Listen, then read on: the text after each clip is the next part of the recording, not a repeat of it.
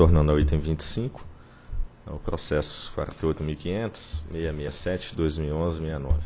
Recurso administrativo interposto pela empresa Energisa por Borrema Distribuição de Energia S.A. em face do auto de infração 75-2012 SFF, que aplicou a penalidade de multa em decorrência de atraso no envio de relatórios de informações trimestrais.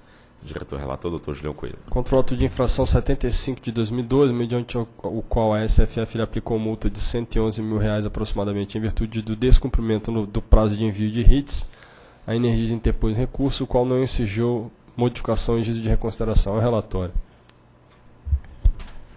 Procuradoria opina pela presunção de juridicidade da decisão a ser proferida pela diretoria.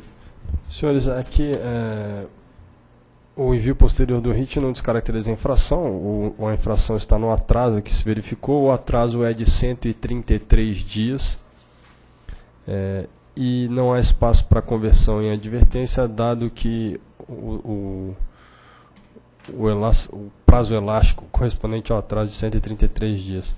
Mas em relação à dosimetria, eu estou aplicando um precedente, é, despacho 2388, de relatoria do Dr. Edivaldo, em que no caso idêntico a gente reduziu a dosimetria de 004 para 001 aproximadamente. Isso no caso concreto faz com que a multa seja reduzida de R$ 111.959 para R$ 18.027. Passo ao dispositivo. Do exposto, considerando que considera o processo em tela, voto por conhecer do recurso interposto pela Energisa contra de infração 75 de 2012 e dar-lhe provimento parcial a fim de reduzir o valor da multa para R$ 18.027,99. Em discussão. Em votação. Voto com o relator. Também voto com o relator. Também voto com o relator. Eu então proclamo que a diretoria decidiu conhecer e dar provimento parcial ao recurso interposto pela Energia contra o auto de infração 75 de 2012 da SFF, reduzindo a multa para 18 mil reais aproximadamente. Próximo item.